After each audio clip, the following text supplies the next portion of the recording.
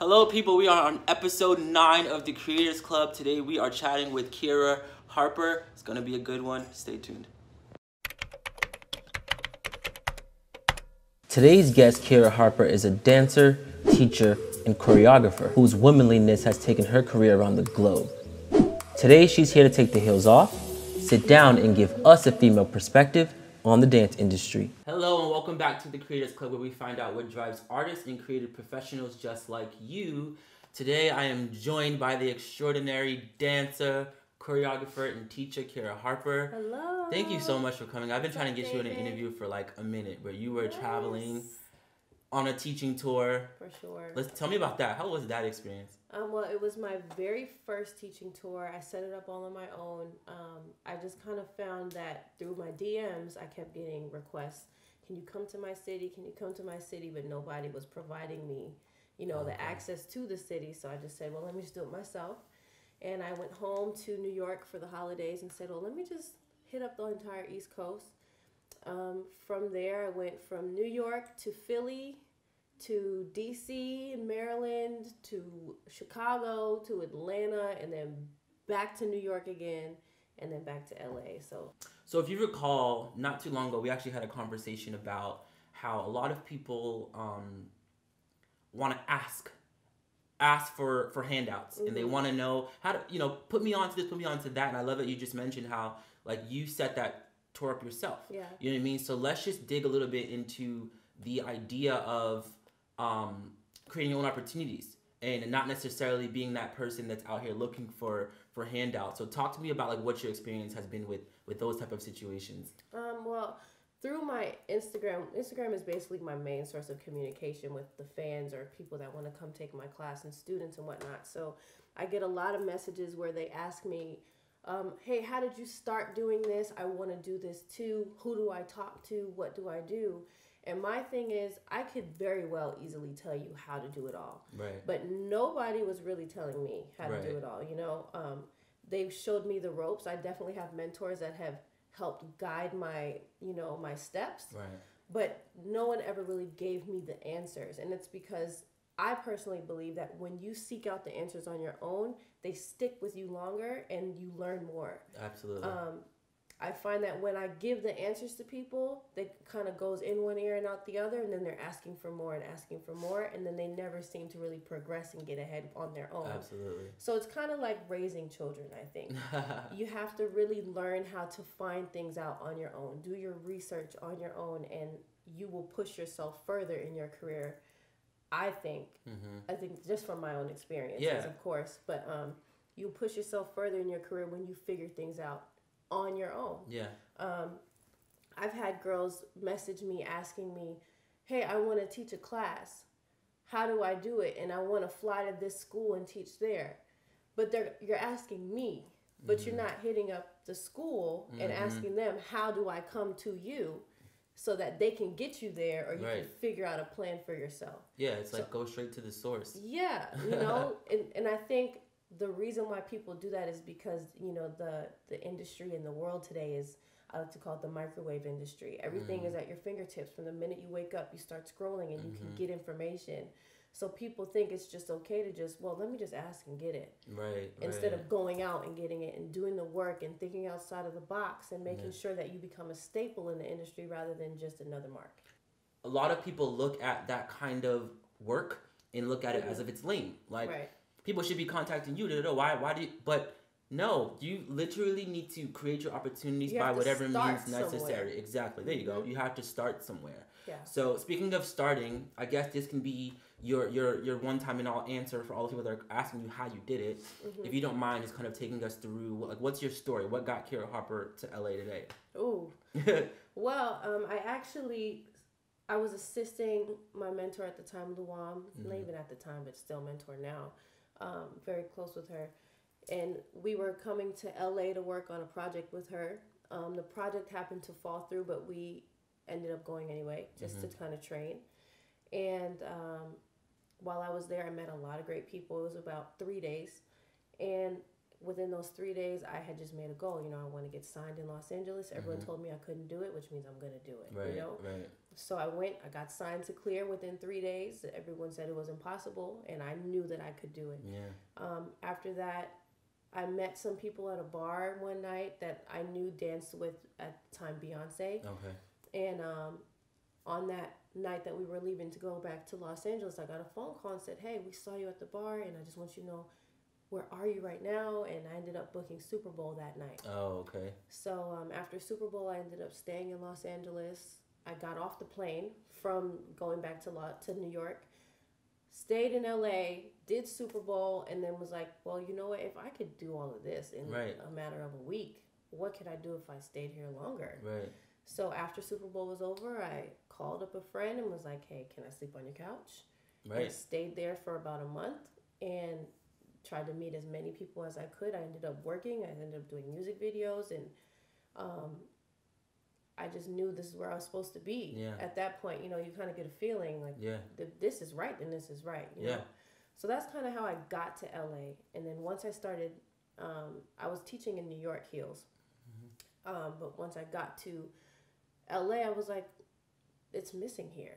You know, you have your Mm-hmm. your standard teachers. You have the Aisha and the Andy and the Siennas, but I knew that I had something else to offer. Mm-hmm. I knew that my style was a little different, and I knew that I saw things in a in a different way. And because I was still in the industry as a dancer, my perspective could be valued. Okay. So, um, you know, being a newbie, you can't just go teaching at Debbie Reynolds and Movement Lifestyle on Right. your own. So I said, you know what, I'm going to do it myself. And if four people come, two people come, I will teach those two people. And I did. I just started renting out space at Evolution Studios. And within my, my first class, I had about 20 people come. I remember that. Yeah. And I was like, oh, people do want to hear what I have to say. So I just kept doing it, kept doing it. And now today, I'm subbing at Debbie Reynolds. I'm subbing at Movement Lifestyle. I'm teaching all over the country Mm-hmm. just because I decided to stick to it and I was I stayed true to who I was and why I'm here and the message that I wanted to share. Yeah. Um, I love that you mentioned that. Um, you know, you said like come into LA as a newbie. Like, no, you're not gonna just jump in and all of a sudden be at these the bigger studios. You know, with your own spot teaching classes. And I do know that like I'm not a teacher, but I do know that what comes with being a teacher is you have to build that following and that loyalty of students that want to come back and learn from you. And um, I'm touching on this because you said, you know what, I did it myself. I rented mm-hmm. my own space, and if two people come, great. But if more, you know, Right. so I'm mentioning that because I think that a lot of people get discouraged coming into a new city, period, mm-hmm. because of stuff like that, where they're like, I'm new, nobody knows me, nobody's gonna care, and nobody thinks, you know what? If I want to build this brand or reputation or, or, or you know, or build a mm-hmm. following, I gotta start Right. somewhere. And if that means I have to do it myself and rent my own studio and you know all that stuff, then so be it. And I think um, that type of discouragement is what stops people from even trying to come to new cities or you know what I mean. And then you look around, and it's been two years you've been in this new city and you've been in the same spot because you've been too afraid to start. Absolutely. So I love I love that you said that. Um, speaking of New York, so I'm really interested to know your your perspective on just like what do you see as far as the industry goes. What have you noticed differences between like the New York dance community versus the LA dance community? Uh, let me say this. I, I really believe that the reason why New York is what it is versus LA is what it is, um, is because the amount of opportunities provided in New York are significantly less than the amount of opportunities provided in LA. Right. So your level of experience is, um, I feel like, it's lower amongst the majority of dancers Mm-hmm. rather than the specific dancers that always work the jobs. Gotcha. Okay. You know what I'm saying? Um, in LA, there's far more dancers, yes, but far more opportunities for dancers to learn how to act on a job as far as professionalism is concerned and preparedness and um, your training also. There's there's definitely training opportunities in New York, but there's three times more classes in LA for you to take. Right. So um, I I really believe that in New York, the hunger in New York is immeasurable. Like the the dancers there are so hungry and they just want it so bad and um, because there's so little that comes there, although it is growing now, Right. but because there's so little that comes there, they they want it way more. Mm. Um, in LA, there's so many opportunities that things for dancers become kind of like uh, an everyday routine. gotcha. You know, Gotcha. you can you can say, "Oh, I'm not gonna go to that audition. There'll be another one tomorrow." Right, right. Whereas, Whereas in New York, in- you can't do that. You you like you need to be going to any and everything. because you never know when you're gonna have another opportunity in New York. You know, I remember there was a time in New York where I went to one audition a month, if that. yeah. In LA, two to three times a day sometimes. Right. You know, and or four to five times a week you'll Mhm. have auditions. It's just different. Yeah. There's more opportunity for you to learn and but what I do see also is in New York, yes, the dancers are more hungry and yes, there's a lot of talent. But I feel like the level of work ethic in New York can be lower sometimes Yeah. because people get way more discouraged Mm. because there's not that many there's not many opportunities for them to hone in on the talent that they do have I agree. you know there's not many people coming there to help them grow And give new people and chances. nurture their talent that they do have you know and people i feel like in new york people don't realize the level of potential that they have I agree with that. I know? totally agree with that. in LA, you can you can see it and then you make a choice whether or not you want to push on it or not. But Mm-hmm. um, I think my heart is with New York all Mm-hmm. the time, and I know so many talented people there, but so many talented people that feel like you have to do things a specific way in order to get to where it is you want to go. And yes. I feel like it's holding a lot of New York back. Yes. Um, Yes. yeah. Uh, speak, Yeah. Well, speaking on that, that's exactly what I think. I think, um, well, first of all, I think that the fact that there's significantly more jobs in LA um, is a good thing and a bad thing. It's a bad thing because, like, people get comfortable and they're like, mm, something will roll around next week. But I think it's a great thing because I forget who I was talking to years ago, but they had mentioned that because there's so many jobs in um, LA between um, music, film, commercial, TV, everyone's able to find their place if you Right. work hard enough. Everybody can Right. find their place in this industry. You don't have to. Whereas in New York, because like there's not as many jobs, we we constantly have to go to auditions, even if we're like, I'm not even interested in that, Right. but I need a check. Right. Whereas in LA, you kind of can say, you know what, I really want to focus on TV jobs Mm-hmm. right now versus like uh, music videos or tours. I want to stay put and I want to find a, a long term TV job like lip sync battle or when Glee was out, like something that's dance but still but stationary and put. So I feel like that's where the pro is. Mm-hmm. But I do think that it, it, it, it has its cons in the aspect of people do get a little comfortable in, in the fact that Mm-hmm. there are so many jobs. But that being said, going back to New York, what do you think is stopping people from um like everyone I feel like everyone has this like this like idea of like wanting to be loyal to New York and I'm not gonna leave. Everybody leaves. Right. But it's like when do you start thinking about what's best for you, your career and your life actually progressing? So what do you think is stopping people from um, you know, even if they come and visit for two months or three months and then go back and then but it's just like the reality of the industry. The reality of the industry is that 90% of the jobs are here. Right. So it's like, what do you think is stopping people from testing the waters? Is it fear? Yeah, I think it is fear. Under you know, it's an underlying fear for Mhm. sure. Um, but people people look at Los Angeles and New York, and I know I'm guilty of this too. At one point in my life, it was like it's just so far away. Mm-hmm. It's just so far away. It's just so much I need to do before I can get there. And it's like, no. Yeah. If you want to do something, then do it. You want to go down to Atlanta and train under Sean Bankhead, then get your ass down to Atlanta and Yeah. figure it out. You know what I Exactly. mean? Mhm. It's just a matter of starting. And I think because New York is so accustomed to waiting for the job to come, they Mm-hmm. feel like you have to wait before you're ready in order to do more. Yes. And I feel like a lot of times people don't realize that you're already ready. mm-hmm.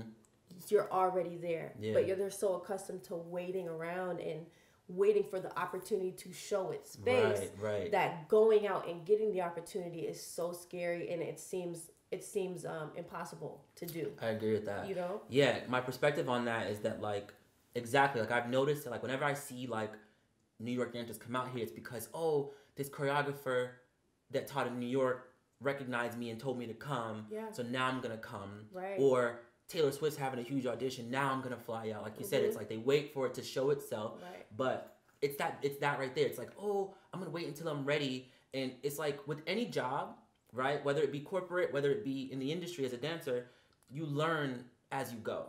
It's like you said, there's more jobs here that will are for a first timer or for a newbie to get on it and be like, okay, now I understand how to do this better the next time or do that. And I think that people automatically think that not think but want to come here and jump right into a tour Right. or a major production and forget about the fact that there's still so much you have to learn and you mm-hmm. don't have to know it all right away. Right. But sometimes you feel like choreographers play a role in making people feel like they have to know it all before they come?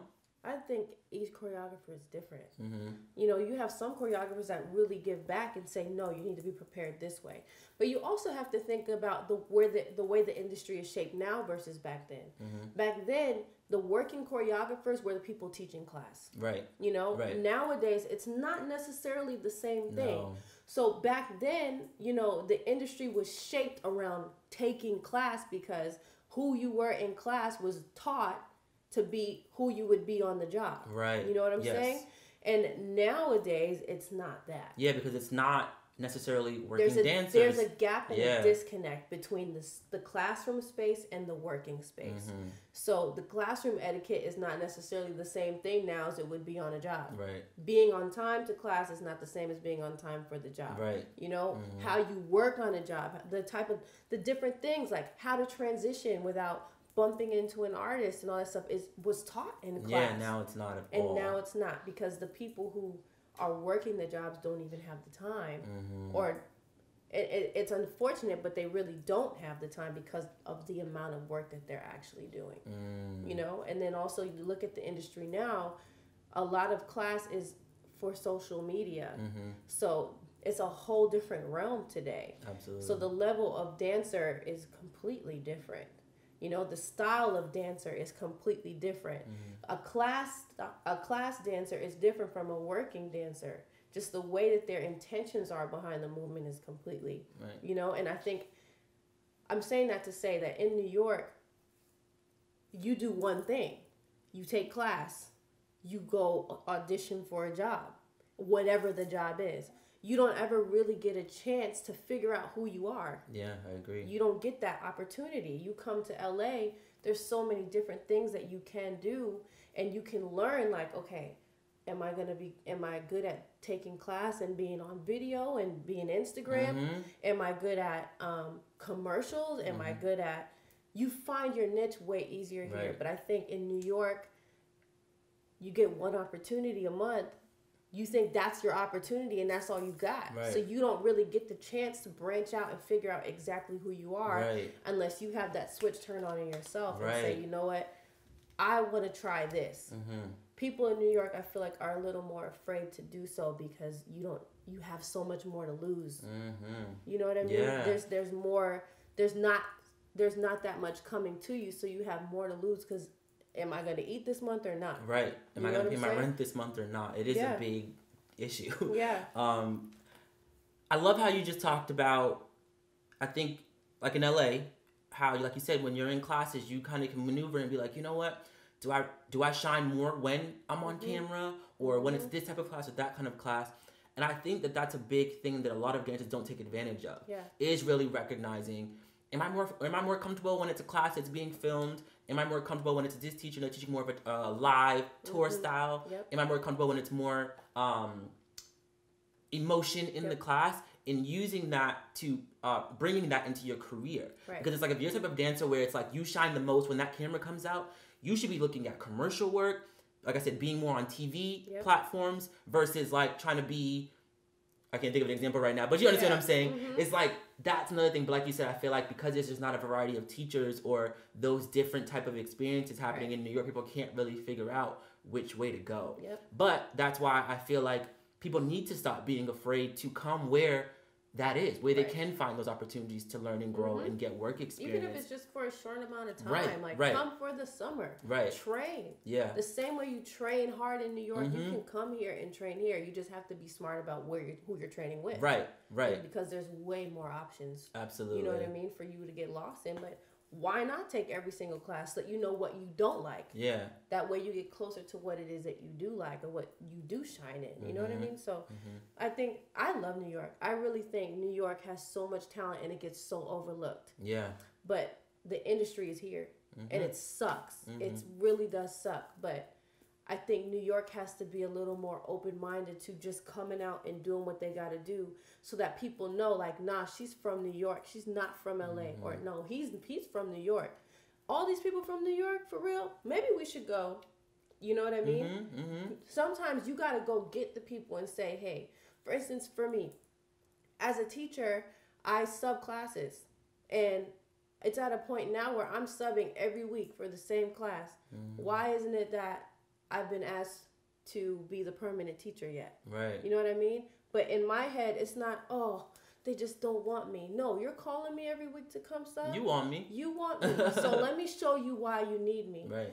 get every single person in that class at the end of my class to go to the front and say i want her to be my teacher Yeah. permanently sometimes you got to wake people up sometimes people are sleeping on you and i think the industry is for sure sleeping on new york city hmm but new york can't just be waiting around for people to wake I was gonna up say, let's talk about what we feel like New York is doing wrong. You know yeah I mean? We could turn it into positives in the end, but Mhm. it's like, what are the things? I think that's number one. People are waiting for the opportunities to present Yeah. themselves before they act upon things. Mhm. I think two, um, I think New York is always following the leader, yeah and I say that in the sense of like, um, you know, LA made the whole video thing in class, like the more cinematic style video thing in class, like big, Mhm. and it wasn't until after that that New York was like, all right, let's do Yeah. that too. And this is no shade or disrespect to anyone that does the, the videography and filming in New York. I'm just saying that I think there needs to be more innovative thinkers who can come up with what New York can do first. yeah Does that make sense? Versus like, oh, that's working in LA, let's do it over here because Yeah. it always looks